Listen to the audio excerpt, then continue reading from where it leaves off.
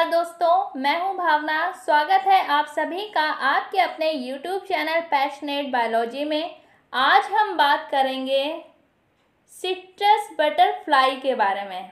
Video start करने से पहले, अगर आपने हमारे चैनल को अभी तक सब्सक्राइब नहीं किया है तो प्लीज़ सब्सक्राइब कीजिए और अगर वीडियो पसंद आए तो लाइक कीजिए और शेयर भी कीजिए। तो चलिए वीडियो को स्टार्ट करते हैं। इंसेक्ट है सिट्रस बटरफ्लाई।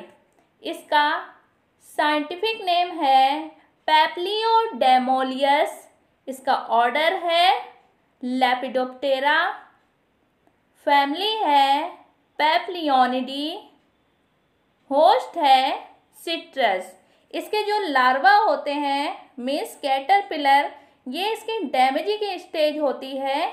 मीन्स लार्वा सबसे ज़्यादा डैमेज करते हैं। ये लार्वा प्लांट की पत्तियों पर फ़ीड करते हैं, जिससे पूरी पत्तियाँ इसकी बेकार हो जाती हैं। ये पूरी पत्तियों को खा जाते हैं और बहुत ही ज़्यादा डैमेज करते हैं।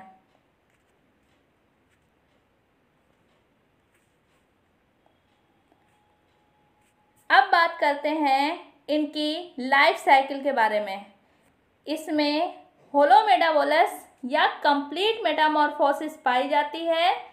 मीन्स लाइफ साइकिल में फोर स्टेजेस होती हैं. Egg larva pupa and adult इसमें फीमेल लीव्स की लोअर सरफेस पर एक्स देती है. ये एक्स येलोइश वाइट कलर के होते हैं. एक फीमेल अपनी पूरी लाइफ साइकिल में 80 से 120 एक्स देती है, जिससे हैच होकर के तीन से सात दिन में लार्वा निकलते हैं। Fully grown larva dark green colour का होता है। इसकी बॉडी सेगमेंटेड होती है। लार्वल पीरियड चौदह से अठारह दिन का होता है। इसमें फाइव लार्वल स्टेजेस पाई जाती हैं। अब इसमें प्यूपेशन की प्रोसेस होती है। प्यूपेशन की प्रोसेस या तो लीव्स पर होती है या फिर स्टेम में होती है। प्यूपल पीरियड छः से चौदह दिन का होता है। प्यूपा से एडल्ट बटरफ्लाई एमर्ज होती है। इसके विंग्स पर लेमन और ब्लैक कलर के स्पॉट्स होते हैं।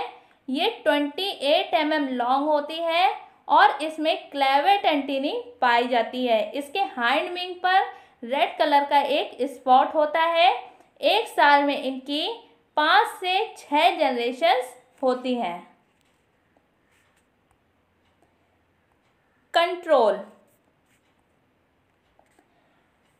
Treatment of plants with the insecticides like endosulfan phosphomidon and malathion collection and destruction of caterpillars by hand picking. Use of natural enemies in biological control measures like trichogramma and Pteromalus. Thank you. That's all.